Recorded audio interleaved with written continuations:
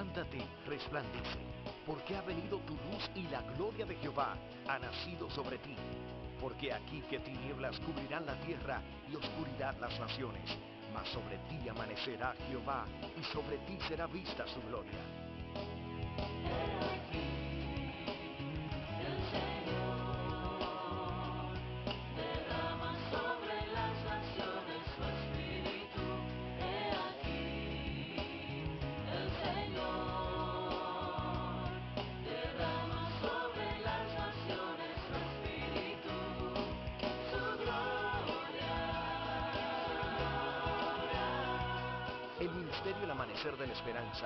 Presenta su programa Voz de Restauración con el pastor Juan Carlos Fernández. Escucha atentamente la palabra que proviene del mismo corazón del Padre para consolar tu vida. A continuación, el pastor Juan Carlos Fernández. Apreciamos esta ocasión tan oportuna de parte del Señor para bendecir tu vida a través de la exposición de la palabra. Nos sentimos muy felices de ser instrumentos de Dios para alcanzar esa meta. El Señor es el proveedor, Él está siempre atento, pendiente a suplir nuestras necesidades. Él tiene un mensaje para tu vida y yo te invito a que tú lo escuches con el oído del Espíritu, con la verdadera disposición, con el ánimo de Dios. De parte de nuestra congregación, te queremos dar la bienvenida a, esta programación Voz de Restauración. Y como te decimos siempre, ven con nosotros y juntos estudiemos la poderosa palabra de Dios. Bien, mis amados, Dios ha seleccionado un texto muy conocido para edificarnos en este día. Segunda de Corintios, capítulo 5, ¿Ya lo tienen? Versículo 7. Dice, porque por fe andamos, no por la vista. Ya dije que este pasaje es muy, muy conocido. Lo que no se sabe o no se dice es que la última parte del versículo que se traduce por vista en el original en realidad la palabra que se usa es la palabra apariencia. Y dice, entonces sería literalmente, por la fe andamos, no por la apariencia. No es que está mal la traducción, la traducción está correcta, porque la palabra que se usa, aunque se traduce apariencia, está hablando de lo que está frente a nosotros, de lo que ven nuestros ojos, de lo que escuchan nuestros oídos, de lo que se percibe a través de los sentidos. Ese es ese el, el, significado de la palabra original. Así que no está mala la traducción que diga por la vista. Quiere decir, la, la apariencia siempre es por la vista. Pero literalmente la palabra que se usa, eh, se usa en la Biblia en, en, en otras ocasiones, o en la mayoría de las veces, se traduce apariencia. Y es muy importante, Dios quiere hablarnos un poquito hoy, edificarnos acerca, acerca de eso. Nosotros, nosotros vivimos eh, en, el en el tiempo de la ciencia. Estamos en el tiempo del método científico, donde el hombre moderno todo lo lleva al laboratorio, el, el hombre moderno cree solamente lo que ve, lo que palpa, y lo que puede demostrar a través de una investigación. Y todos nosotros somos afectados. Por eso la fe no es apreciada en estos días. Ni, de ninguna manera. Hay, cierto tipo de, de, menosprecio hacia la fe. Porque estamos en el tiempo de la ciencia, en el, en el tiempo de la tecnología. Posiblemente por eso el Señor Jesús, cuando habló de los últimos días, dijo que se, formuló una pregunta. Cuando el Hijo del Hombre venga, ¿encontrará fe en la tierra? Eso nos habla de que el Señor estaba consciente de que la incredulidad se iba a multiplicar en los últimos días. Hay dos cosas que la Biblia dice que iban a escasear en los últimos días. El amor Dice que por haberse multiplicado la maldad, el amor de muchos se va a enfriar. Por haberse multiplicado la incredulidad, debido a la manera de pensar del hombre de los últimos días, también va a haber carencia de fe. Esa actitud de los hombres de menospreciar la fe, de ridiculizar la fe, ha, creado en nosotros una reacción hacia la ciencia y hacia la razón, que no debe ser, porque la razón y la fe no están en pugna. ¿Cuántos saben que la razón es de Dios? La razón es de Dios. Lo que pasa es que la razón es mal usada por el hombre. Lo que está mal es usar la razón para analizar la fe. De la misma manera es usar la fe para bregar con la razón, porque son dos dimensiones. La fe pertenece al alma, pertenece a la mente, pertenece a lo adánico, pertenece a lo natural. Imagínense que no tuviéramos razón.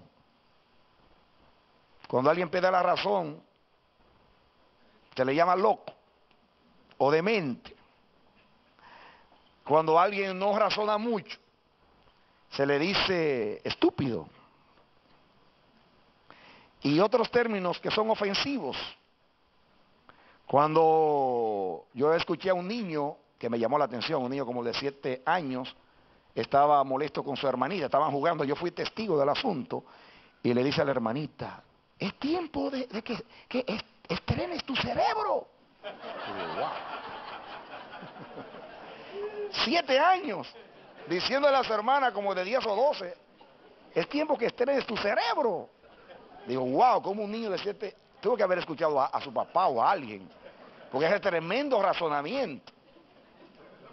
¿Cuántos hay que no han estrenado todavía el cerebro? 30, 40 años, nunca lo usan. Pero el cerebro es de Dios. El cerebro pertenece a la dimensión adánica. Necesitamos la razón para todo lo que hay en esta vida.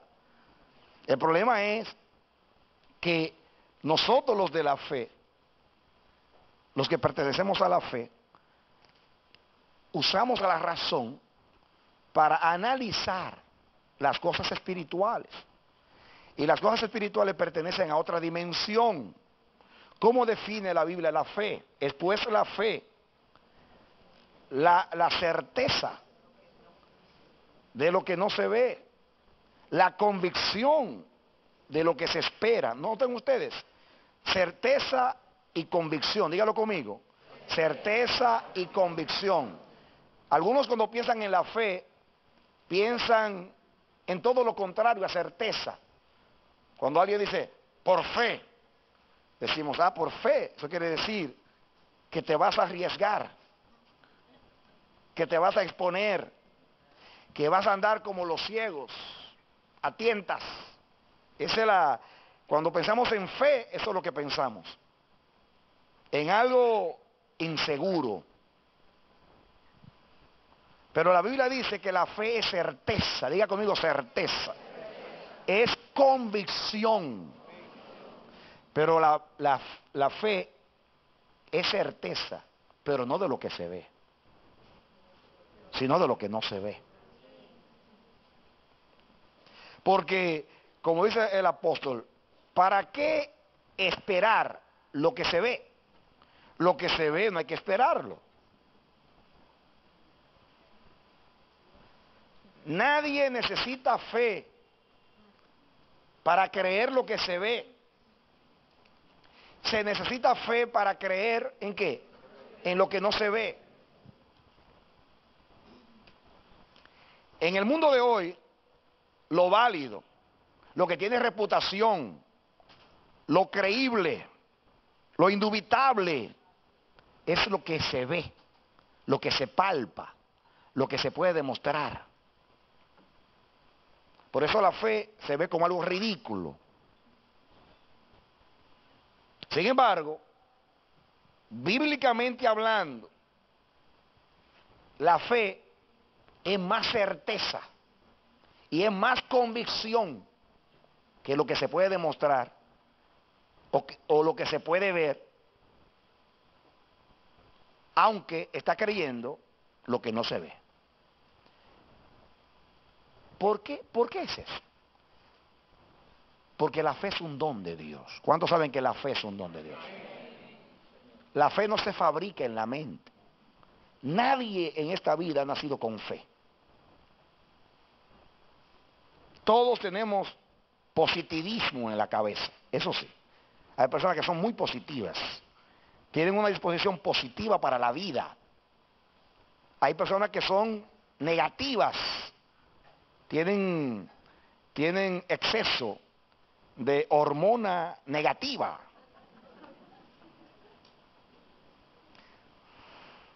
Tienen la glándula de la incredulidad segregando constantemente negativismo. Eso es natural.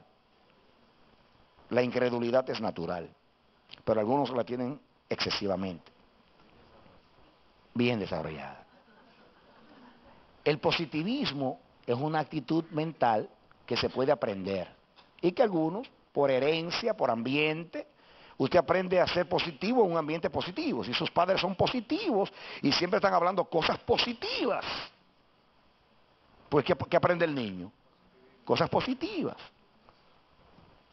Yo he escuchado madres eh, eh, corrigiendo a los niños que yo me maravillo. Porque en vez de, regañarlos como hacemos nosotros y, decir, y decirle las cosas negativas, le dicen cosas muy, muy lindas. Ese niño, ¿cómo está aprendiendo? La verdad que está mejorando. Y espero que cada día lo va a hacer mejor. Y, lo que está haciendo es algo negativo, pero lo está diciendo de una manera positiva. en un ambiente así usted crece positivo, pero eso no es fe. Eso es una filosofía.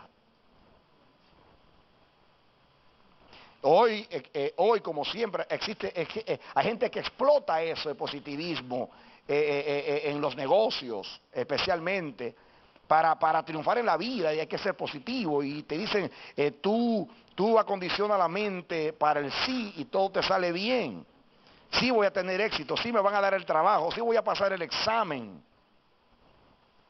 Sí me voy a librar del diablo, sí. Hay libros de eso. Siete pasos, veinte pasos para, para ser una persona positiva, para triunfar en la vida. Eso, eso es natural. Que eso sea bueno, bueno, eh, de acuerdo a la mente es bueno. Es más provechoso ser positivo que ser negativo. Es más cercano a la fe ser positivo que ser negativo, pero el positivismo no es fe. La fe es un don de Dios. La fe es una capacidad espiritual que el hombre perdió cuando pecó, cuando le creyó más a una serpiente que a Dios. Porque le creyó más a un animal que a Dios. Porque aunque era el diablo el que estaba convertido en serpiente, para Dios no era el diablo, para Dios era una serpiente. ¿Por qué para Dios era una serpiente?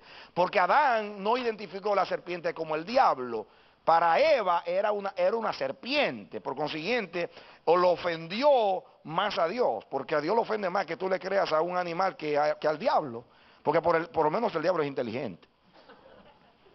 Pero una serpiente no tiene inteligencia.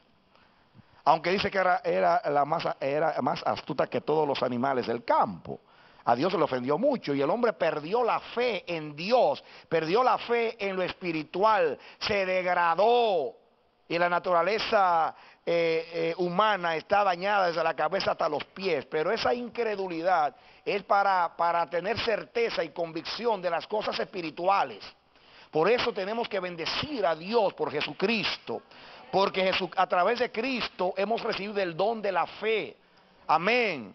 Por eso el hombre nuevo fue creado según Dios en justicia y santidad de la verdad. El hombre nuevo fue creado para creerle a Dios. Cuando Israel le falló a Dios, eh, el Señor anunció el nuevo pacto. Dijo, dijo, he aquí vienen días, dice el Señor Jehová, en los cuales haré nuevo pacto con la casa de Israel. No el pacto que hice con sus padres el día que los tomé de la mano para sacarlos de la tierra de Egipto porque ellos invalidaron mi pacto. He aquí el pacto que hago con ellos. Después de aquellos días, dice el Señor, pondré mis leyes en su corazón y derramaré mi temor en ellos. Y, en otras palabras, les voy a dar un corazón nuevo, un espíritu nuevo para que me teman, para que me crean, para que me conozcan. Y me van a conocer tanto que nadie le va a decir al otro, mira, eh, conoce al Señor, pues todos me conocerán, desde el mayor hasta el menor. Por eso Jesús dijo, por eso Jesús dijo, profetas y reyes quisieron ver lo que ustedes están mirando. Bienaventurados los que oyen y los que creen. Así lo dice la Biblia, bienaventurados los que oyen y los que creen en la palabra de este libro. Bienaventurados los que tienen ojos para ver, oídos para oír y corazón para entender. La fe es un don de Dios. Si tú estás sentado ahí ahora mismo recibiendo la palabra, fue porque recibiste el don de la fe para creer a Dios.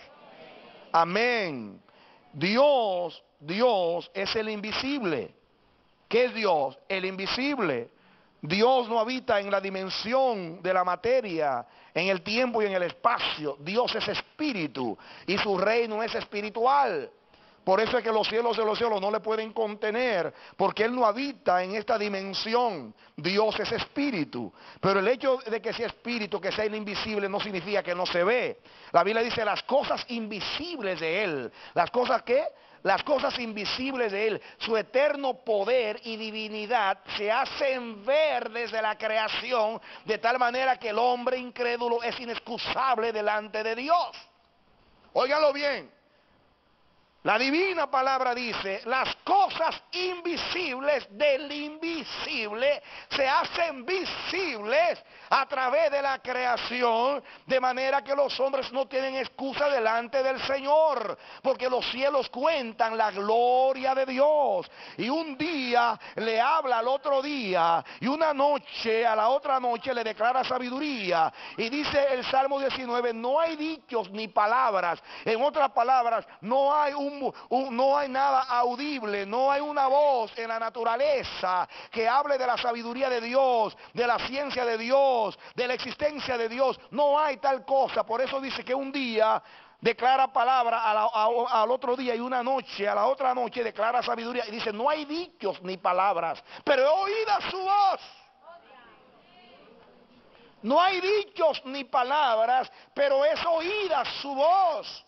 El astro rey, según el Salmo 19, recorre toda la tierra, desde el alba que comienza con una luz tenue y tímida, hasta que sigue, sigue recorriendo toda la tierra, o la tierra dando vuelta, pero de acuerdo a, a lo visible, dice que recorre toda la tierra, dando testimonio de la gloria de Dios, hasta que llega a su ocaso. La tierra está llena de su gloria, dice la Biblia. La tierra está llena de su sabiduría. Todo testifica de él. Pero el hombre animal, el hombre animal, el hombre, el hombre, el hombre, el hombre ciego en lo espiritual, dice la Biblia, tiene, tiene, tienen ojos y no ven, tienen oídos y no oyen, y tienen corazón y no entienden. Son bestias, porque viendo no ven, oyendo no entienden. Es asombroso. Es asombroso. Usted tiene que maravillarse. Ellos se maravillan de nosotros por nuestra fe y nosotros nos asombramos de la incredulidad de, ellos, porque viendo todo, viendo la perfección, todos los días descubren algo nuevo del cuerpo y cada día eh, Dios los tiene ocupados y los va a mantener ocupados descubriendo cosas nuevas. Que, ahora descubrimos una nueva proteína, que es esto. Ahora vemos que el ojo funciona así. Ahora vemos que el estómago es así. Y todos los días algo nuevo, algo nuevo, algo nuevo. Y, no solamente del cuerpo humano, de todas las especies, todo todo, habla de, un creador inteligente, sabio, que eh, eh, todo habla de su grandeza, de su poder, de su majestad. Amén.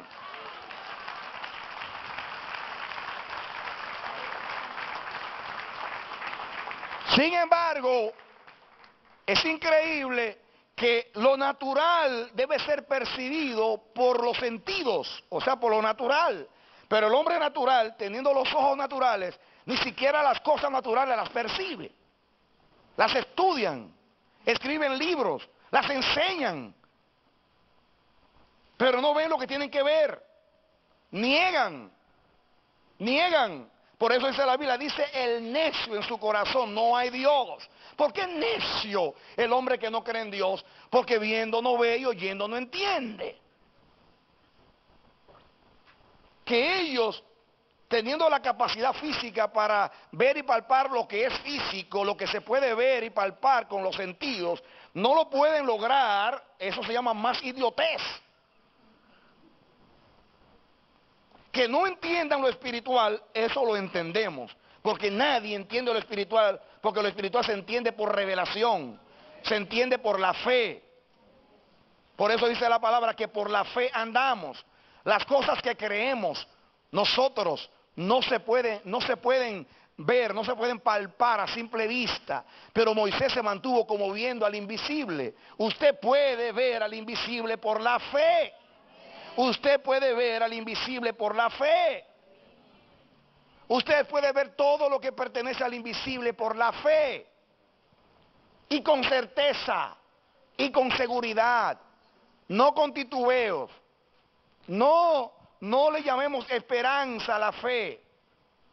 Eso no es una corazonada. Eso es la palabra de Dios, que es infalible. Cáese la hierba, sécase la flor, pero la palabra de Dios permanece para siempre. Amén. Se seca la hierba, se cae la flor, su palabra permanece para siempre. Tenemos certeza porque hemos recibido el don de la fe.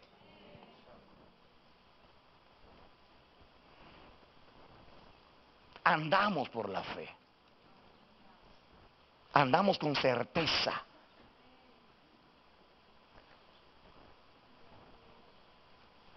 Pero hay algo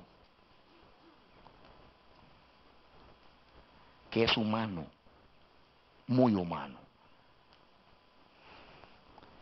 y que está en contra de la fe, y que es muy común para nosotros los seres humanos, es muy común en nosotros, guiarnos y juzgar y basarnos en la apariencia. Y yo quiero estudiar algo con ustedes. Muy importante. Yo quiero que ustedes vengan conmigo a Primera de Samuel, capítulo 16. Dijo Jehová a Samuel, ¿hasta cuándo llorarás a Saúl, habiéndolo yo desechado para que no reine sobre Israel? Estoy leyendo en 1 Samuel 16, 1. Sigue diciendo, para que no reine sobre Israel, terminó. Dice, llena tu cuerno de aceite y ven, te enviaré a Isaí de Belén, porque de sus hijos me he provisto de rey. Así dijo Dios al profeta Samuel. Y dijo Samuel, ¿cómo iré? Si Saúl lo supiera, me mataría. Jehová le respondió, toma contigo una becerra de la vacada y di, y di a ofrecer sacrificio a Jehová he venido. Y llama a Isaí al sacrificio. Y yo te enseñaré lo que has de hacer. Y me ungirás al que yo te dijere. Note ustedes, hermanos, que Dios es, Dios es muy específico. Yo te voy a enseñar lo que tú has de hacer. En otras palabras, tienes que esperar una instrucción mía. Y segundo, tú vas allá a ungir uno de sus hijos y yo te voy a decir quién es. O sea, un hombre como Samuel, que desde niño aprendió a obedecer a Dios, Dios no le tenía que hablar de una manera tan específica. Ve allí, ve a sacrificar, invita a Isaí y a su casa, yo te voy a dar una instrucción yo te voy a decir quién es el ungido. Versículo, versículo 4. Hizo pues Samuel como le dijo Jehová. Y luego que él llegó a Belén, ¿de qué? Los ancianos de la ciudad salieron a recibirle con miedo y dijeron, ¿es pacífica tu venida? Si los profetas cuando llegan la gente se pone a temblar. Él respondió, sí, vengo a ofrecer sacrificio a Jehová, santificaos y venid conmigo al sacrificio. Y santificando él a Isaí y a sus hijos, los llamó al sacrificio.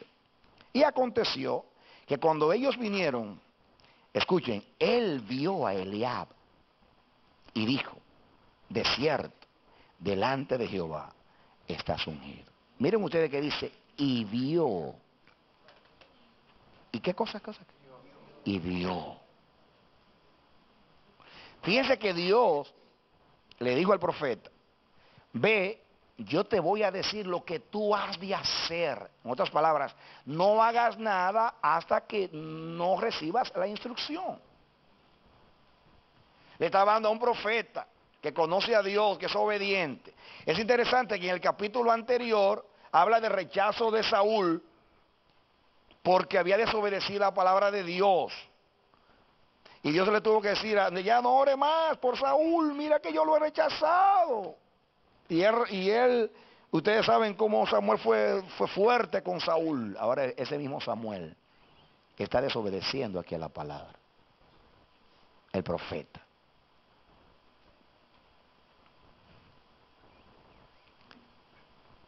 A mí me llama mucho la atención, y yo lo he dicho en, algunos mensajes, Samuel se distinguía en Israel porque era más que profeta, era vidente. ¿Qué cosa era?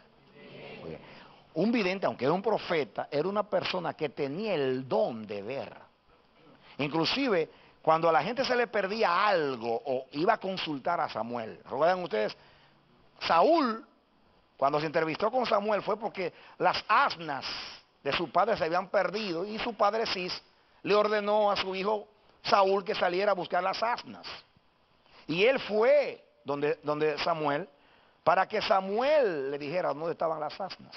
A mí me llama la atención que un hombre vidente, que todo el mundo le consulta por lo que se perdió, sabe dónde están las asnas y cuando va a buscar el ungido de Jehová no lo encuentra. El don fue dado para las cosas espirituales. Le funciona en las cosas naturales. Usa el don para las cosas naturales y no lo usa para las cosas espirituales. Es el profeta.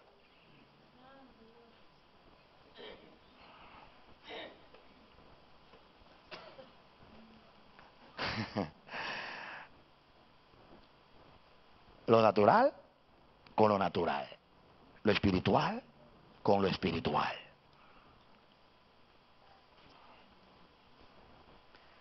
Un don espiritual usado para lo natural y funciona.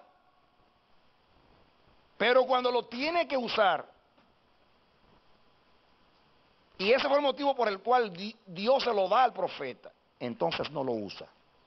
Y el hombre se arriesga Y en vez de ir a lo seguro, lo seguro es la instrucción de Dios. ¿Cuál es lo seguro? Eso es lo seguro. Lo seguro es la instrucción de Dios.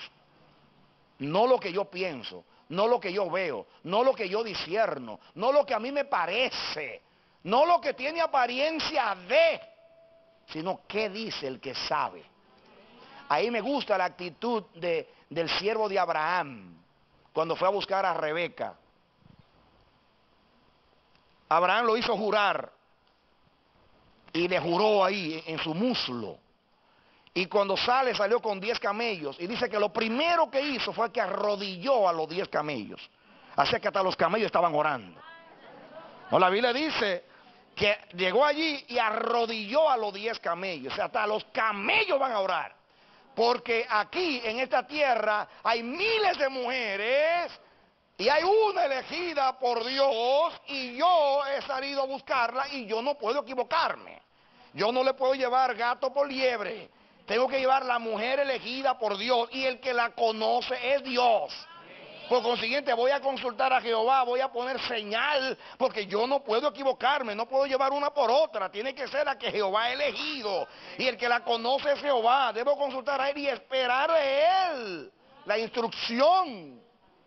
Ese alguien que conoce lo espiritual y que sabe que Abraham lo hizo jurar, jurar en el muslo, lo hizo jurar. Y él dice, esto es un asunto con juramento.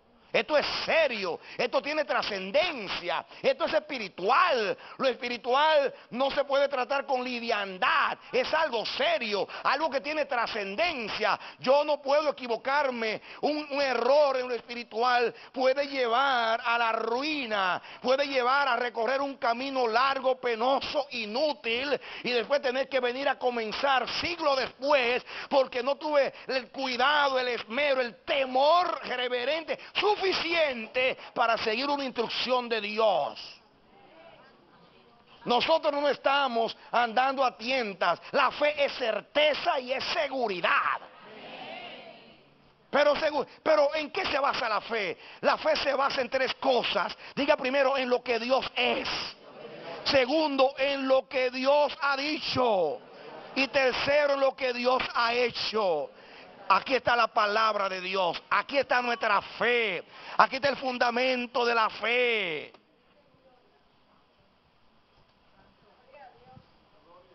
El que anda en fe, anda en la palabra de Dios. Porque es certeza de lo que Dios ha dicho, no de certeza de lo que a mí me parece. No de lo que se ve, no de lo que del disierno, es certeza de lo que Dios habló. Por consiguiente, yo, aunque tenga el don profético más desarrollado, no puedo guiarme por eso. Mis hermanos, los hermanos que han venido a consejería conmigo saben que cuando se paran frente a mí, lo primero que yo hago es orar. Y siempre la oración mía es la, misma. Señor, permite que yo no me guíe por mi, por mi experiencia, ni por mi conocimiento, porque esta persona vino a buscar una dirección tuya y no se puede equivocar. Tiene que salir con un oráculo santo. Tiene que salir con una guianza del Espíritu. Y yo no puedo estar aquí inventando. Yo no soy un psicólogo. Yo soy un siervo de Dios. Y esta persona que vive en el Espíritu y yo también. Y hay un consejo de Dios para esta vida. Basado en la palabra y basado en la guianza del Espíritu. Yo no puedo, como el psicólogo, decir, ay, yo clasifico a esta persona como que tiene un problema depresivo y comienzo a decir que la depresión viene por varias causas. Primeramente viene, viene por un sentido de pérdida o por una profunda amenaza de pérdida porque lo estudié en psicología y, tiene apatía social y no se baña, no se afeita y está así porque los síntomas de la depresión, según estudié en el libro, eh, esa, eh, apatía y entonces tiene síntomas de depresión. Clasifico, estoy frente a una persona deprimida. Por consiguiente, ese es el diagnóstico. Ahora le voy a dar el tratamiento. Ahora saco del archivo de mi memoria que yo he tratado como 100 casos depresivos y yo he usado esta, esta, este, este argumento o esta medicina o, o este consejo. Ya ha funcionado. Porque esto no es una fábrica de galletas que todas son iguales. Ahí hay un ser humano creado a la imagen de Dios y el propósito de Dios con esta vida no es el mismo con aquellos 100 de mi tratamiento. No, mis hermanos, no puedo jugar con el destino espiritual de una vida. No puedo exponerme creyendo en mi conocimiento, mi experiencia. Y pongo el ejemplo de la consejería, como pongo el ejemplo de la predicación. Yo no vengo aquí, ni debo venir aquí eh, eh, a usar mi don. Yo puedo usar el don de la predicación, lo tengo, creo que lo tengo. A veces fluyo más en lo espontáneo que lo aprendido. Pero, eh, pero yo vine aquí a tener un mensaje de Dios y solo Dios conoce la dieta de su pueblo y sabe lo que hoy Él preparó para su pueblo.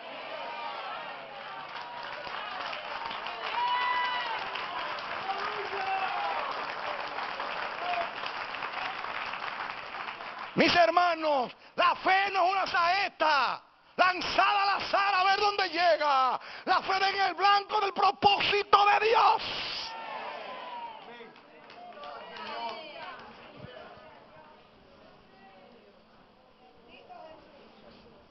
Y Dios pone el ejemplo de Samuel. Porque aquí hay un hombre instruido por Dios, con experiencia con Dios, que era juez, que era profeta, que era vidente, que tenía reputación de conocer a Dios y de ser certero en sus profecías. Entonces para las minucias y las cosas en importancia usaba el don para, para, para, para encontrar burras perdidas. Y cuando va a buscar el ungido de Jehová, donde no se puede equivocar, se le da la instrucción, te espera mi instrucción, como él le dijo a Samuel. Te voy a instruir, te voy a decir lo que has de hacer. Me vas a ungir el que yo te diga. Ah, pero vio aquel alto, fuerte. Supo que había estado con Saúl en la guerra, tiene experiencia militar. Indiscutiblemente, delante de Jehová está ungido. ¿Para qué esperar la instrucción? Si ya está, ya lo vi. ¿Acaso no soy olvidente? ¿Acaso no tengo yo experiencia? Yo sé lo que estoy diciendo. Ay de aquel que confía en su propia sabiduría. Ay de aquel que confía en su conocimiento. Ay de aquel que confíe aún en el don de Dios que está en ti. Estoy hablando en el hombre de más reputación en cuanto al don profético se refiere en Israel. Y aquí Dios le mostró a él y a todos nosotros que la fe no anda a tientas.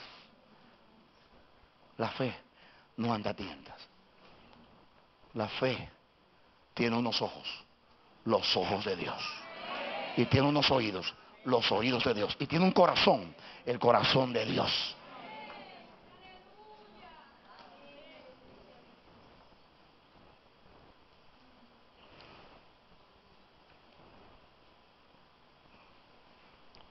Cuando nosotros nos queremos arriesgar, decimos por la fe, por la fe. No, no, no, es que la fe no es un riesgo. La fe es certeza, seguridad.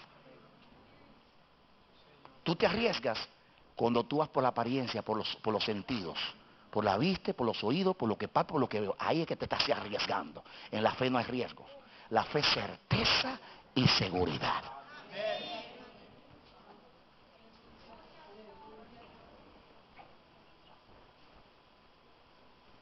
escuchen. Dice aquí.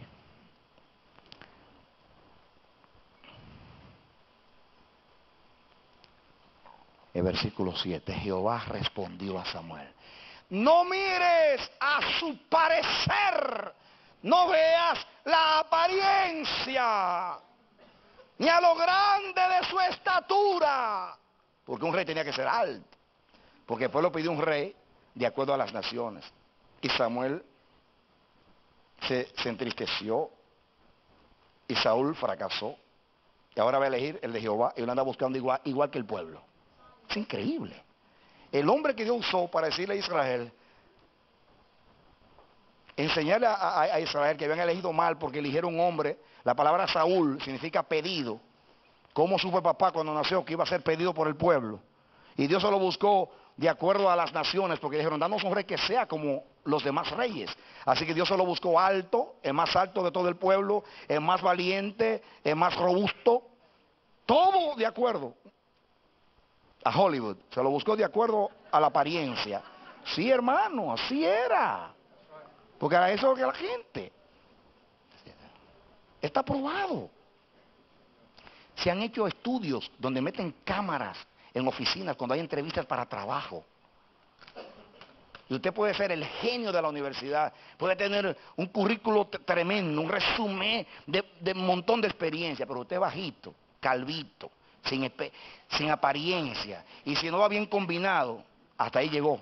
Pero llega un tipo alto, con su maletín bien vestidito y tiene labia y habla bonito, pero puede ser el más bruto de todos a ese lo eligen. No, eso está probado. Está probado. El poder que tiene la apariencia está probado. Hoy todo el mundo juzga por la apariencia y lo mira de arriba abajo y ya. Y ya lo clasifica.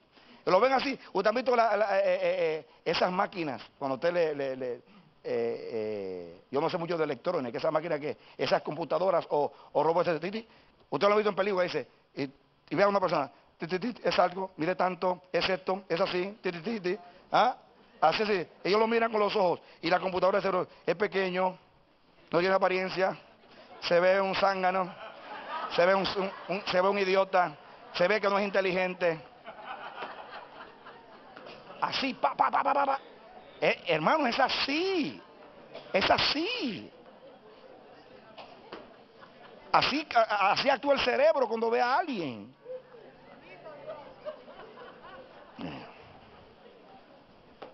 La gente pequeña en Hollywood, solamente cuando hay películas de enanos, lo necesitan. O, para comedia. O para pelear con un grande para que vea que los chiquitos cualquiera lo batea. Pero cuando van a buscar a alguien, buscan a alguien de apariencia. El protagonista que esté fuerte, robusto, elegante. Por eso que la última película de, James Bond no gustó mucho, porque no buscaron a una persona con, gran apariencia. Antes los James Bond como era. Wow. Que así, hermano, así. Que el mundo seguía así, yo no entiendo, pero que el profeta de Dios seguía así, eso es lastimoso, triste. Y yo, Radamés, aprendo Aprendo. Aprendo. Miren lo que Dios le dice a Samuel. No mire su parecer ni lo grande de su estatura, porque yo lo desecho. Porque Jehová no mira lo que mira el hombre. Pues el hombre mira lo que está delante de sus ojos, diga la apariencia pero Jehová mira el corazón. Amén. Los hombres miren cuánto mide la estatura. Y Dios dice, ¿cuál es el tamaño del corazón? Y no porque creció con el corazón grande, que tiene problemas eh, circulatorios o, o... No, no, no, no, no, no. Hay gente que tiene problemas físicos y el corazón no tiene grande. Pero cardiovasculares. No. Que Dios no cuenta los corazones, Dios pesa los corazones. Y el Señor mira el corazón. Es como cuando alguien está en una ofrenda. Mira el corazón y luego la ofrenda. Si el primer rey elegido por el pueblo era grande, era guerrero, era, tenía todas las cualidades que todo el mundo busca en la apariencia.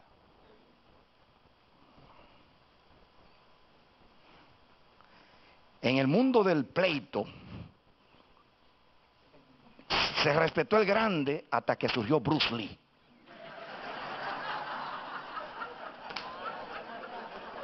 Es verdad. Antes el grande era el que ganaba. Ahora ve un chiquito que tiene fibra, pero que sabe. Y dice, ah, ahora la gente dice, puede ser chiquito, pero puede ser que, que vuele en el aire y me ponga ese pie en la cabeza. Así que tengo que tener cuidado. En el barrio decían, a mí me gusta que sean altos y gordos, porque hacen mucho ruido cuando caen. Me gusta pelear con esa gente, porque cuando tú lo tiras, ¡boom! Suena como que tú hiciste algo grande.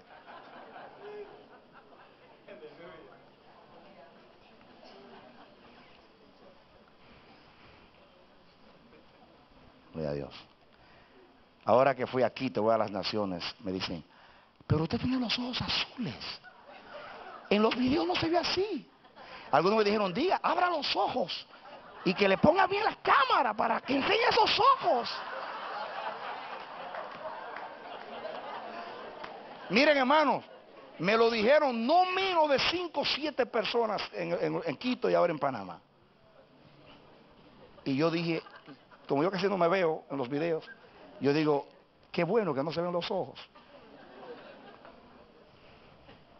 Por eso es que yo, bueno, además del reino, de que Dios no quiere que pongamos fotos porque tiene que aparecer Él. Pero algunos insisten, póngase la foto. Digo, ¿para qué? Si pongo la foto, menos van a ver. Si el mensaje es difícil y la gente no lo quiere, y, y el que predica tampoco tiene apariencia, madre mía. es un desastre. Pero yo no lo estoy diciendo porque, porque tenga complejo. Oh. Como, como, me dijo alguien que yo le decía, yo le decía a uno de los discípulos, oye, tú te amas mucho. Dice, yo me amaba tanto que cuando yo era niño y besaban, y mi mamá besaba a todos en la casa menos a mí, yo me besaba a mi hijo. Y decía, fulano, tú eres lindo, fulano, tú eres lindo. Digo, oh, que eso es una buena, una buena estima. Carlos está probando como diciendo, yo lo voy a hacer también. Gloria a Dios.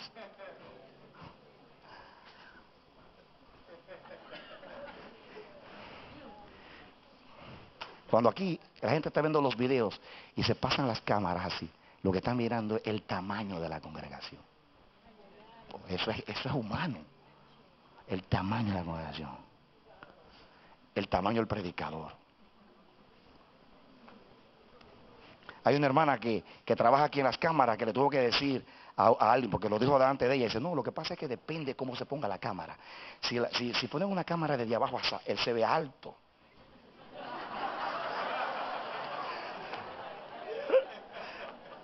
Y ustedes saben los trucos que se hacen para que la gente se vea bonita. Ahora no se tiran fotos, ahora tú, ahora te dan una foto y te arreglan las arrugas en la computadora. Y tú apareces de 17 teniendo 71. Te miran la edad.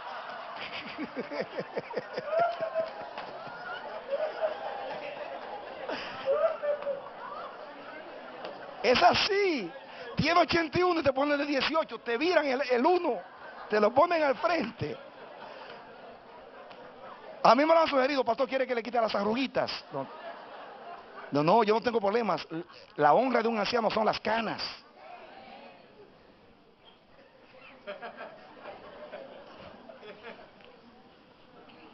Amén. Hermano, mis hermanos, escuchen, que esto es muy importante. Escuchen. Samuel tropezó. Este fue un error graso, magno error. Porque si se hubiera equivocado buscando las asnas, pues eso no tiene trascendencia. Pero buscando el ungido de Jehová. ¿Qué es lo que mira Dios? No lo, el parecer, no la estatura. ¿eh? ¿Cómo se evalúa hoy a un ministro? ¿Cuántos miembros tú tienes? ¿Cuántos años tienen el ministerio? ¿Dónde estudiaste? Si se cae la gente cuando tú hablas.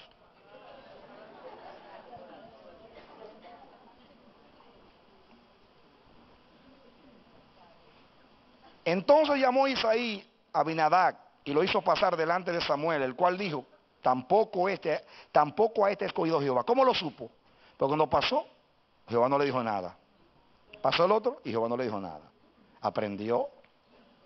Ya no, ya se puso a mirar el tamaño, dijo, ponte ahí. Y nos vieron un rato ahí. Señor, ¿es este? No, no es este. ¿Qué pasa? El otro. Luego, luego hizo pasar Isaí a Sama. Y él dijo, tampoco a este he elegido Jehová. Se puso Sama ahí, lo miró, no es Sama, que se vaya Sama. E hizo pasar Isaí siete hijos suyos delante de Samuel. Pero Samuel dijo a Isaí, Jehová no ha elegido a estos. ¿Cómo lo supo? Porque Jehová dio instrucción y ahora lo está, la estaba siguiendo. ¿Quién conocía al ungido? ¿Quién conocía al ungido? El que eligió. El que conoce al ungido es el que eligió. Entonces dijo Samuel a Isaí, ¿son, ¿son estos todos tus hijos? Porque pasaron todos y no era ninguno. Oye, qué tremendo es el Señor, ¿ah? Le pasó todo lo que estaban. Fíjense, es interesante. El que era ni siquiera estaba. Para que no lo vieran. Pasaron todos los que estaban. Y era el que no estaba. El que no estaba a la vista. Ese era. Porque el que anda por la, por la vista le pasa lo que le pasó a la vieja Tabita. Que cae en el hoyo. Porque si un ciego y otro ciego, caen los dos en el hoyo. Le hizo pasar a todos los siete hijos. Hasta que tuvo que preguntar, ¿son estos? Ay, y dice, parece que no hay un... Me mandó a la casa de Isaí, pasaron todos y no, y no está. ¿Será que no discerní bien? E hizo pasar Isaí siete hijos suyos delante de Samuel, pero Samuel dijo a Isaí, Jehová no ha elegido a estos. Entonces dijo Samuel a Isaí, ¿son estos todos tus hijos? Y él respondió, queda aún el menor. Ay, santo. El más pequeño y no estaba presente. El más chiquito. Queda aún el menor que apacienta las ovejas. Y dijo Samuel a Isaí, envía por él, porque no nos sentaremos a la mesa hasta que no venga aquí. Envió pues por él y le hizo entrar y era rubio y hermoso de ojos y de buen parecer. Ay, era bonito. Entonces Jehová dijo, levántate y úngelo porque este es el chiquito, el rubito ese era.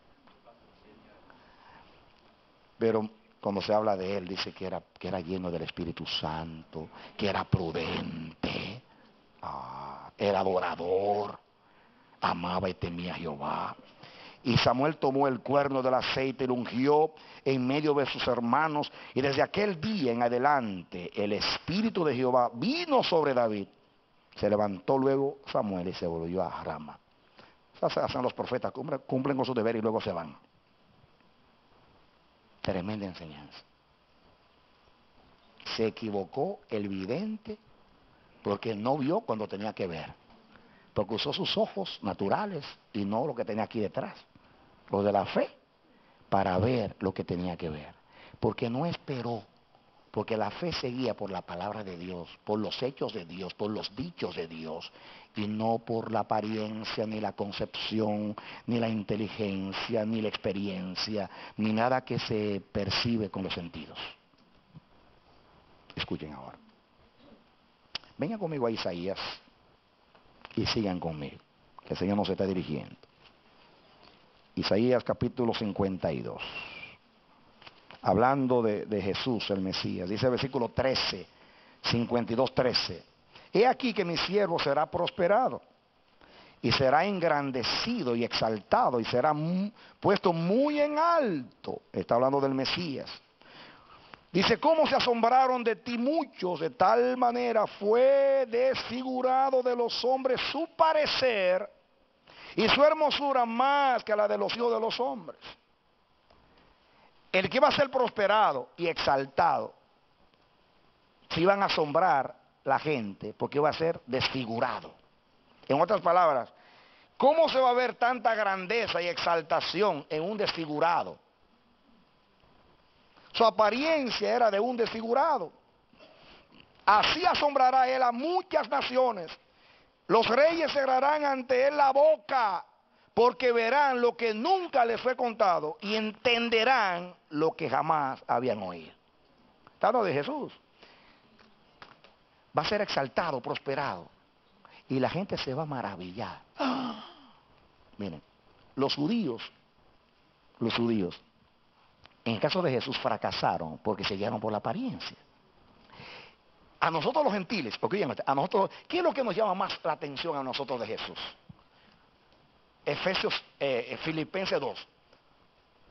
Siendo en forma de Dios, se humilló, no estimó el ser igual a Dios como una cosa a la cual aferrarse, sino que se anonadó, se hizo hombre y estando en la condición como hombre, esa palabra, la condición como hombre es la palabra apariencia en griego.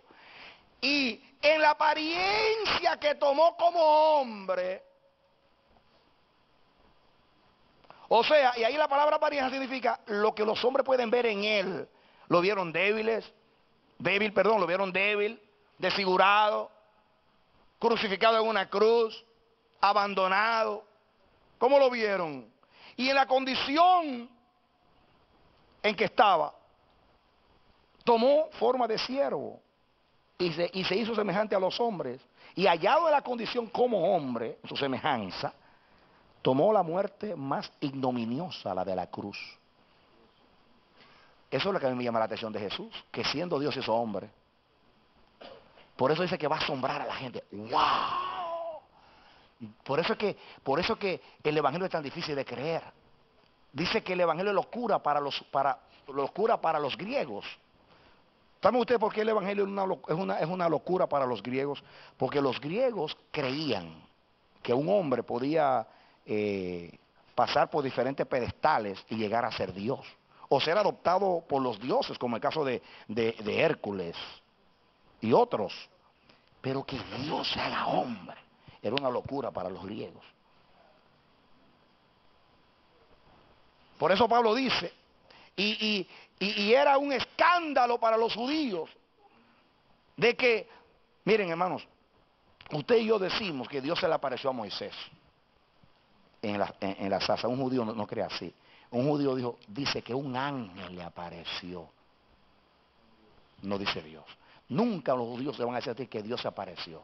Se apareció en semejanza, mandó un ángel. Era el mismo Dios, pero un ángel hablando por él representándolo, pero ellos tienen un concepto tan elevado de Dios, los judíos, que Dios, que, ni el nombre lo podían pronunciar. Hacerse hombre, eso era absurdo.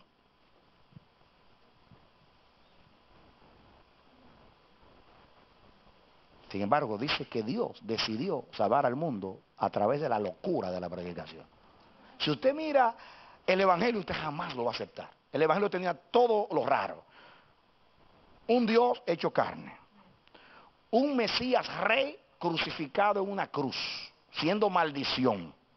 Dios prohíbe los sacrificios humanos y ahora mata a su hijo. Está raro, todo está raro. ¿Saben ustedes? Yo le preguntaba a Dios, Señor, ¿por qué pusiste, por qué pusiste cosas así? Y Dios me dice, justamente para eso. A mí no se me va a encontrar en la lógica, ni en los ojos, ni en los oídos, ni en la vista. Y yo sé, es increíble que parece que Dios se lo puso fácil al hombre, porque en vez de mandar a alguien vino él. Si Dios hubiera aparecido como Él es, en su trono resplandeciente, muere todo el mundo. Sin embargo, se hace un humilde hombre, nace en un pesebre, y aparentemente se lo puso fácil.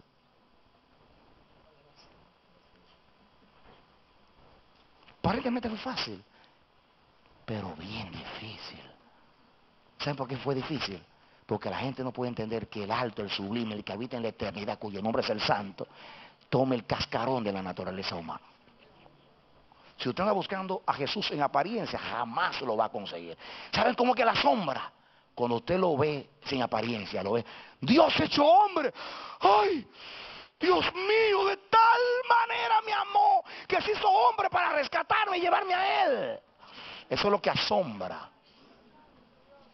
Pero lo que a mí me asombra, porque lo miro a través de la fe, es lo que escandaliza al judío para rechazarlo, su apariencia.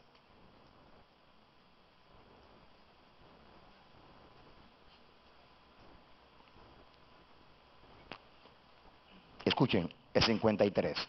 ¿Quién ha creído en nuestro anuncio? 53.1. ¿Y sobre quién se ha manifestado el brazo de Jehová? Pregunta el profeta.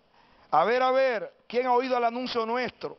A ver sobre quién se ha manifestado el brazo de Jehová. Y dice, subirá cual renuevo delante de él, como raíz de tierra seca. Ay, una raíz en tierra seca. No hay parecer en él, diga, no hay apariencia en él, ni hermosura. Le veremos más sin atractivo para que le deseemos. Le veremos, pero sin atractivo para que le deseemos. ¿No es este el de José y de María? ¿De dónde aprendió este? Wow.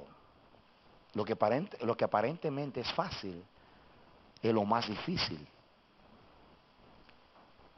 La grandeza de Cristo solamente se ve y Él es exaltado y prosperado a tu vista cuando tú lo ves de acuerdo a como Dios lo revela. O sea, Dios hecho carne. El rey vuelto un siervo muriendo en una cruz. Ahí que tú dices, Dios mío, Padre, esto es demasiado para mí. Pero si tú lo ves humanamente hablando, dice, pero eh, eh, este no es el hijo de José y de María y sus hermanos lo conocemos. Mira a Chaguito, a Santiago. Mira a Judas, y lo conocemos. Yo estudié con él ahí en la escuela rabínica, lo conocemos.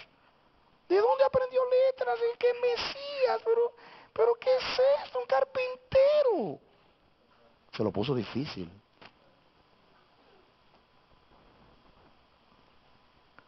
Si usted ve a Jesús a simple vista,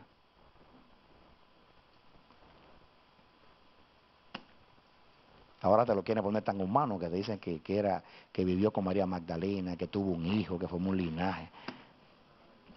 Ese, como te lo desfiguran los incrédulos para hacértelo tan humano que te lo dañan.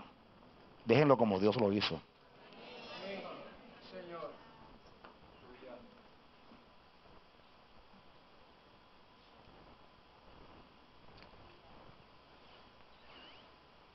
Escuchen, no tiene atractivo para que le deseemos. Por eso fue que Israel tropezó. Porque lo, lo, quiso mirar de acuerdo a la apariencia, lo quiso mirar de acuerdo a la percepción, a cómo lo esperaban, a la expectativa de ellos.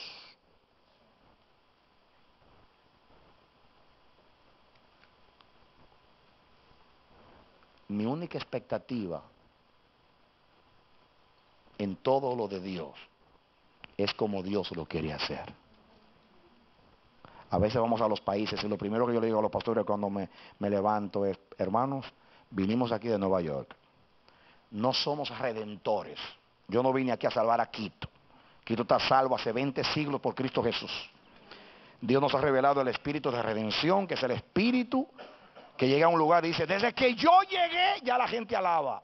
Desde que yo, allí no alababan, pero desde que yo llegué, ya comenzaron a alabar, ya comenzaron, ahora se desde que yo llegué. Digo yo, no esperen eso de mí. Cuando yo me vaya, esto va a estar igual o peor. Pero si llega el Señor, todo va a cambiar aquí.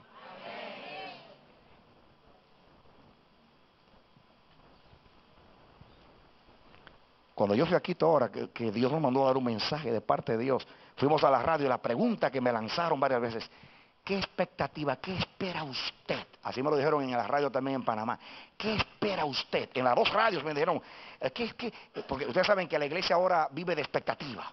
Eh, eh, usted va esta noche y, y trae a los enfermos, se va a sanar y va a ser un hombre diferente y Dios lo va a ungir y Dios lo va, le va a dar la iglesia más grande. Venga aquí que usted no va a salir, usted no va a salir igual y la gente va y sale peor.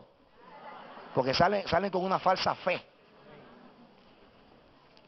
Y el, hermano que me entrevistaba, el pastor, se asombró que yo le dije, ¿qué va a pasar? Pregúntale a ella, lo que Dios quiera que pase.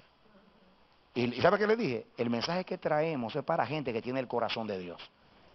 El que no tiene el corazón de Dios, que no vaya, porque no lo va a recibir, ni lo va a entender, y va a tropezar. Así que que yo tengo un mensaje para la gente que ama a Dios, que respeta a Dios, que teme a Dios, que aspira a Dios y que, todo es con Dios, esa gente vaya y va a ser edificado, seguro que va a ser edificado.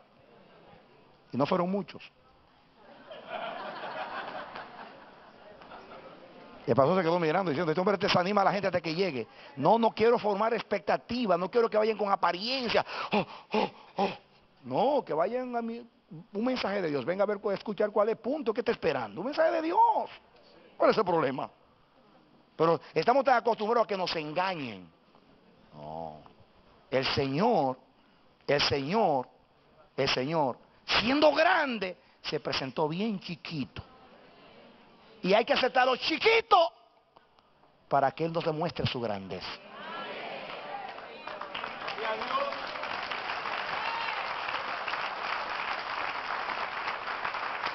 Hermanos, lo que asombra del Evangelio es que Dios se ha hecho carne. Lo que asombra del Evangelio es que siendo el rey se hizo siervo. Lo que asombra del Evangelio que nos tiene a todos atónitos es que el autor de la vida murió. Lo que nos asombra es que el que hace justicia en el universo, que tiene el centro de la justicia, fue juzgado injustamente por los hombres y condenado a muerte. Siendo inocente, con testigos falsos y no abrió su boca, ni se defendió, demostrando todo lo contrario a lo que es el hombre. hizo entender lo que es Dios.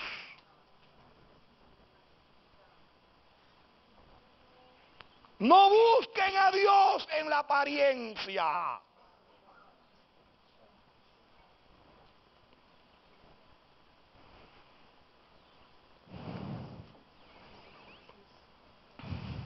Despreciado y desechado entre los hombres, varón de dolores, experimentado en quebranto, como que escondimos de él su rostro, fue menospreciado y no lo estimamos. Morido, y ustedes saben cómo se presentó a Israel. ¿Cuál fue el fracaso de Israel? La expectativa que tenía de su rey, lo que esperaba de su rey y lo que quería ver de su rey. ¿Qué señales tú haces y creeremos en ti? Si eres hijo de Dios, baja de la cruz, demuéstranos, ponnos evidencias, muestra nuestros sentidos, ojos y oídos lo que tú eres y creeremos en ti. Dice, ¿cuán lejos están? Si ahora es por la fe. Dios, escuchen, la paradoja, Dios se reveló escondiéndose.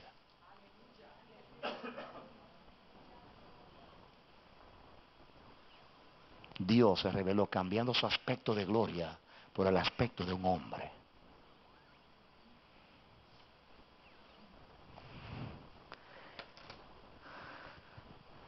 Nadie va a poder ver a Dios ni entrevistarse con Él yendo al cielo porque ya Él decidió venir a la tierra y conocerte a ti aquí abajo.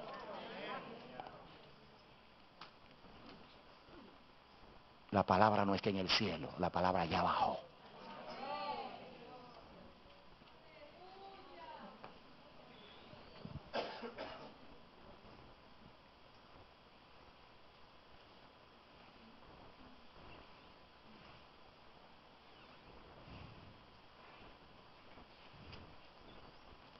Escuchen algo.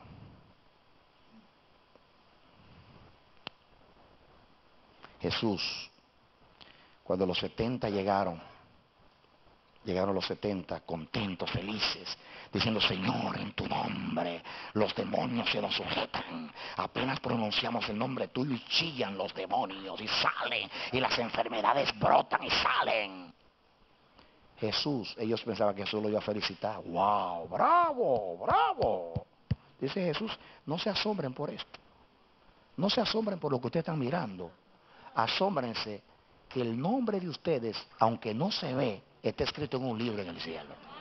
Eso sí asombroso. Eso sí maravilloso. ¿Ah? Los milagros se ven, pero el nombre de ustedes escrito en el libro de Dios no se ve. Y eso es lo grande. Y se conmueve en espíritu. De la Biblia dice que dio a Dios una, una adoración jubilosa. Se pentecostalizó.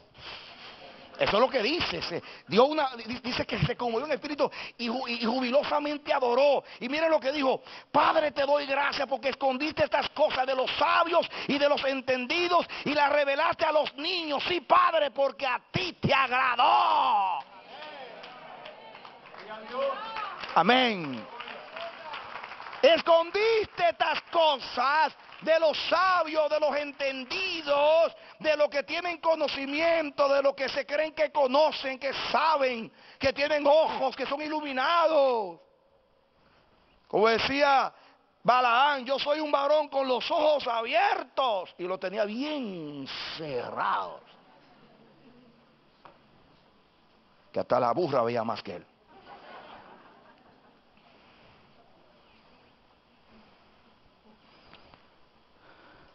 Dios esconde de esa gente. Usted dice Dios, por eso es una estupidez tratar de convencer a un ateo que crea. Una estupidez, no pierda su tiempo.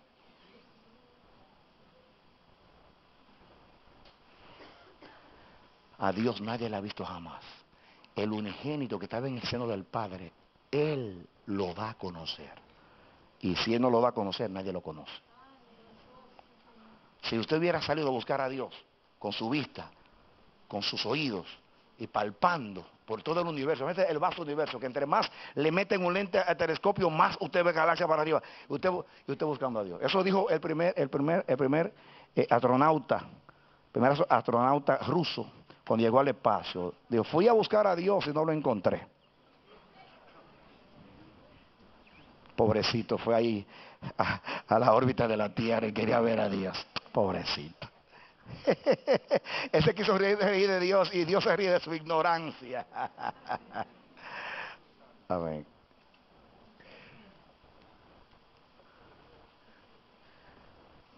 Escucha ahora. Miren algo, a mí siempre me ha llamado la atención este pasaje que voy a compartir con ustedes, Mateo 22. Miren lo que los herodianos le dijeron a Jesús. 22.15 de Mateo. Entonces se fueron los fariseos y consultaron cómo sorprenderle de en alguna palabra. Y le enviaron los discípulos de ellos con los herodianos diciendo, Maestro, sabemos que eres amante de la verdad. Atención, porque esto, aunque se lo dijeron para halagarlo, en realidad era así. Maestro, sabemos que eres amante de la verdad. ¿Cuántos aman la verdad aquí? Y que enseñas con verdad el camino de Dios. Qué lindo. Y que no te cuidas de nadie porque no miras la apariencia de los hombres. Dinos, ¿qué pues te parece? ¿Es lícito dar tributo a César o no? Ay, era una trampa, pero estaban diciendo lo que, lo que era verdad. Amaba la verdad, enseñaba el camino de la verdad, y cuando se trataba de la verdad, no se cuidaba de los hombres, como muchos nos cuidamos, porque no miras la apariencia de los hombres.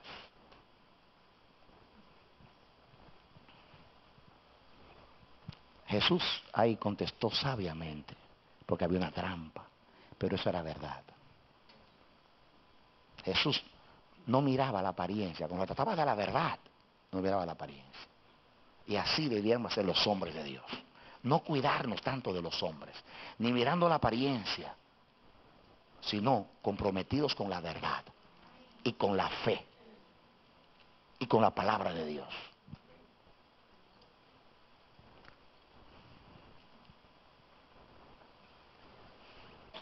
En Juan 7:24, Jesús dijo algo, no lo tienen que buscar, oigan, óiganlo.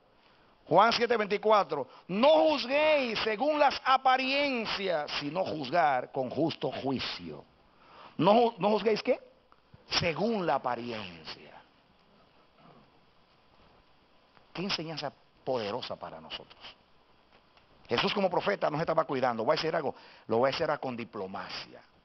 Déjame decirlo así, porque estoy entre gente con, con, con, con cuello con corbata.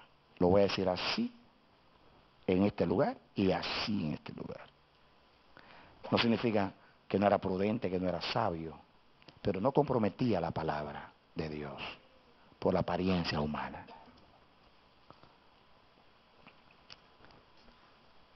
No juzguemos según la apariencia.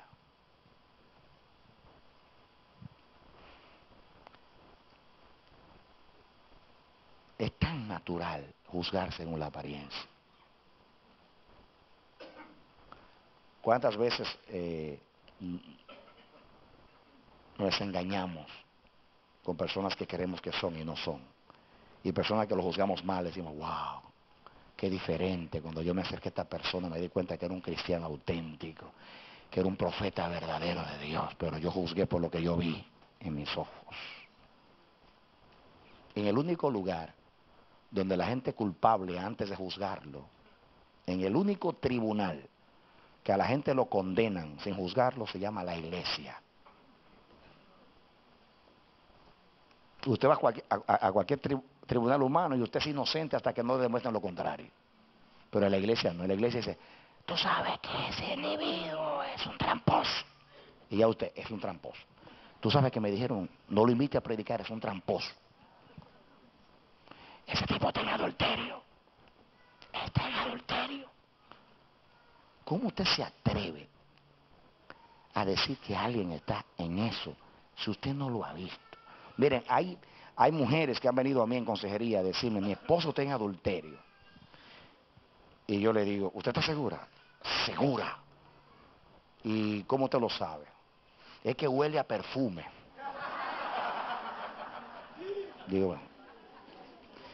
Usted sabe las veces que yo, que yo huelo a tabaco. Usted entra a un lugar donde hay tabaco, cigarrillo, usted sale y dice, Dios mío, ¿qué es esto?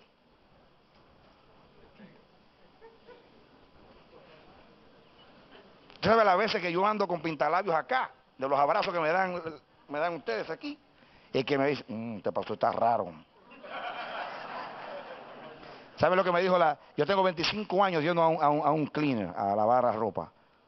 Y, me, y, entonces eh, la, la, yo tengo ya confianza con la dueña y me dice, óyeme, ¿qué es eso? Tanto pintalabios. Digo, digo yo que las viejitas de la iglesia me, me, abrazan. Y me dice, cuídate de las viejitas.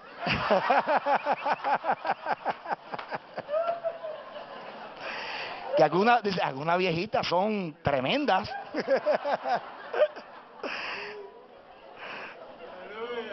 Ay, las apariencias, hermano. Gloria a Dios que mi esposa nunca en la vida me ha dicho a mí, ¿qué es esto? No, ella entiende. Ella sabe que tememos a Dios.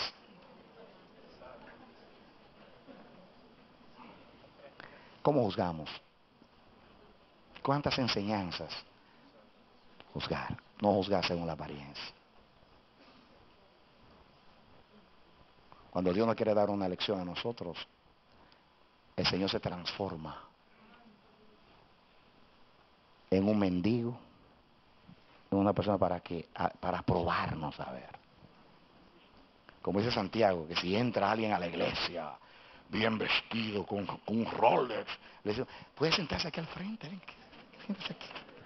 Pero llega una persona estrujadita, mal vestida, y ni siquiera lo sentamos.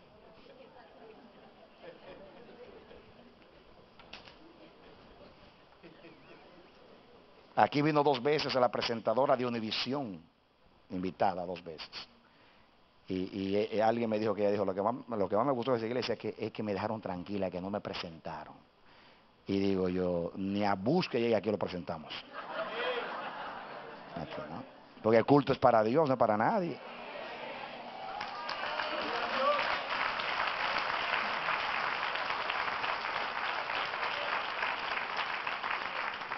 Y yo sabía que ella estaba ahí.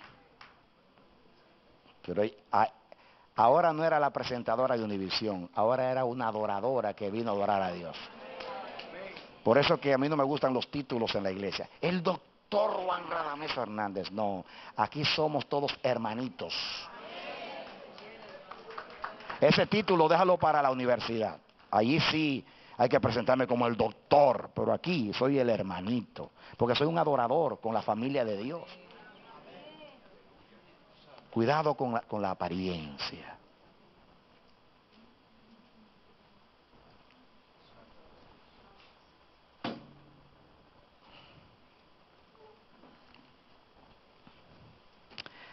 En 1 Corintios 7:31 Pablo dijo, porque la apariencia de este mundo se pasa Wow.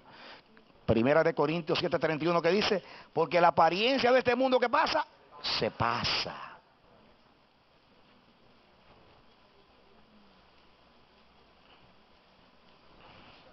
Vaya a ver usted ahora a Elizabeth Taylor. Se hizo como 50 cirugías y parece una pasa de la grande. En una silla de rueda la mujer que, que era, que estaba delante de todos ahí. La apariencia pasa, se vuelve nada. Por eso hay que, hay que cuidar el, el corazón. Sobre toda cosa guardada, guarda tu corazón.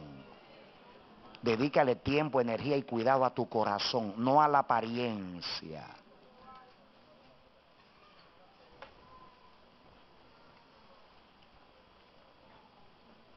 No, ¿ah?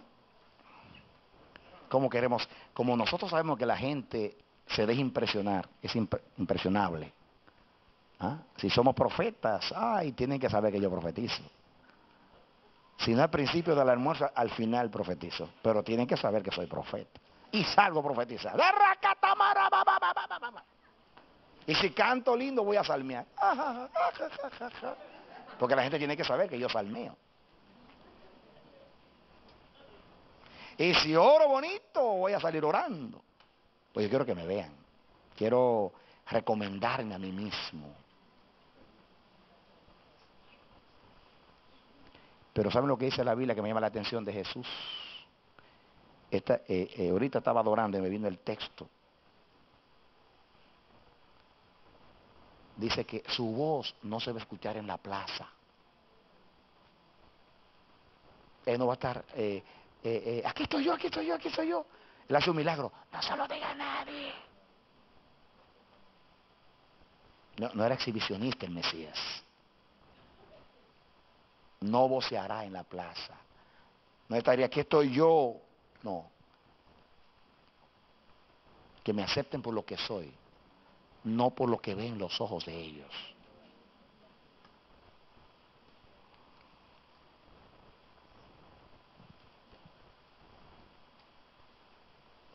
Cuando ahí en, Mateo 22, 16 dice que dice, tú no miras la apariencia de los hombres.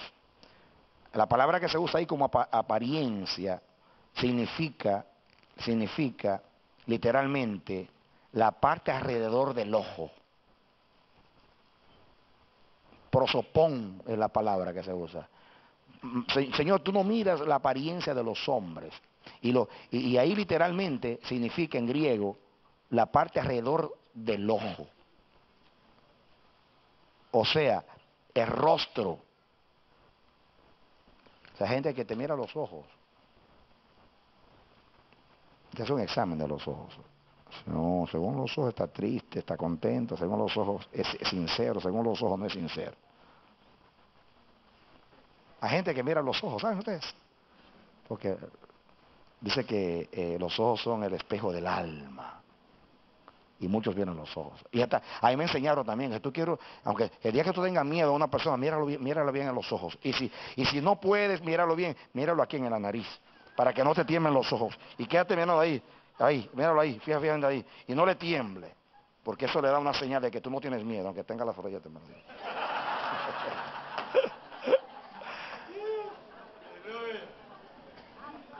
¿Cuánta psicología, cuánta psicología, cuántas cosas nos enseñan y la gente mirando los ojos a la gente? Yo le vi en los ojos que es un tramposo, le vi en los ojos que es un asesino, le vi en los ojos que es un carnal. Jesús no miraba los ojos porque leía el corazón. Y nadie le tenía que decir nada del hombre porque conocía lo que había en el hombre. Pero como yo no conozco el corazón, yo no juzgo según la apariencia. ¿Saben ustedes cómo lo que yo hago? Como yo no conozco el corazón y no puedo juzgar por la apariencia, por su fruto se conoce el árbol. ¿Cuántos saben que para ver el fruto hay que esperar? Que el fruto no sale de una vez, el fruto sale después de un tiempo. Por eso que el amanecer de la esperanza, usted puede ser evangelista internacional y lo sentamos en una silla hasta que Dios diga. Y la mayoría se desaniman y se van. ¿Cómo es posible? Yo era pastor allá, yo era apóstol allá y en esa iglesia me sientan. Algunos le dicen, no vaya al amanecer porque te sientan.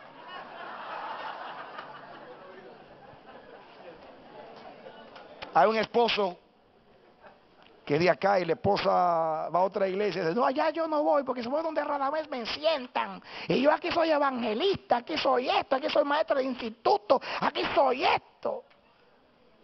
Pero carnal como la naturaleza caída.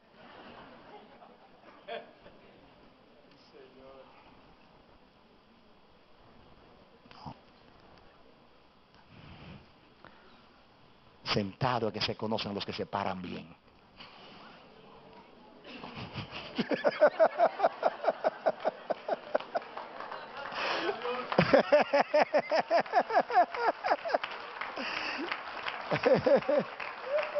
Amén. Amén. Tú sabes, eh, eh, eh, Tamara lo que más se le ministró al pastor José Macías de Panamá que yo le dije que tú nunca has cantado en nuestra iglesia. Y dijo, ¿cómo? ¿Verdad? Y yo, sí, por eso es que tú la ves tan espiritual.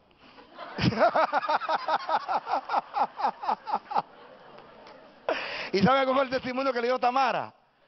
Lo que dijo Tamara, delante de mí dijo Tamara, cuando yo llegué a Maestría de Esperanza por primera vez, yo pensaba que usted iba a interrumpir el culto para saludarme. Porque en otros lugares era así, ella era tan conocida que cuando llegaba a un lugar, ah, gloria a Dios, hermana Tamara. Dice, no, porque aquí la hermana Tamara es una adoradora. Allá es una cantante, pero aquí es una adoradora que se sienta con sus hermanos a adorar a Dios. ¿Qué? Ah, pero no duden ustedes que, que pronto cante, porque se ha sabido sentarse y no se ha desesperado y no ha codiciado el, micrófono. Eso significa que ya no es apariencia, fue probada y aprobada. Puede ministrarle al Señor. Por eso es que digo que la gente que se para bien se prueba sentado. Sí. Jesús duró 33, 30 años sentado y solamente tres parados. Y, y, estuvo tan parado que se lo llevó Dios al cielo. Amén, amén. Sin apariencia.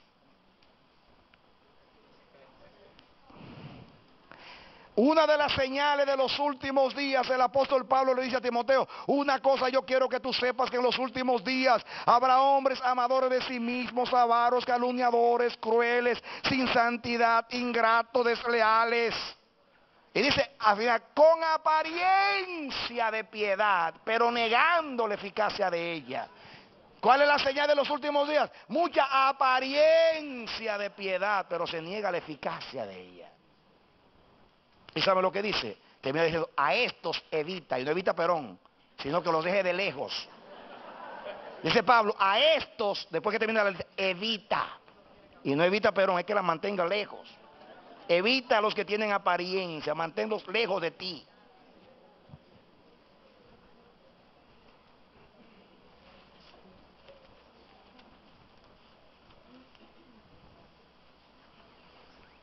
Este mensaje se, se resume así.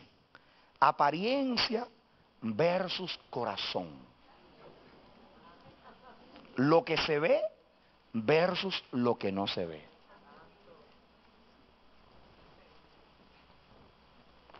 Fe versus apariencia. Apariencia versus corazón. El que tenga oído para oír. Lo que el Espíritu dice a la iglesia. Vamos a, a rogarle al Señor. A mí me llama la atención que pues, después que Jesús terminó la parábola del sembrador, dijo, le preguntaron, maestro, ¿por qué tú le hablas en parábolas? Y dice, escuchen, para que viendo no vean y oyendo no, no oigan. Y Dios mío, viniste a revelar y a esto se le habla en parábolas para que no entiendan. Ah. Dice, dice porque, porque se cumple lo que dice el profeta con este pueblo, que tienen el corazón engrosado. Y oyen pesadamente, no quieren oír. Pero la Biblia dice, el que tiene oídos para oír, oiga. ¿Cuántos tienen oídos?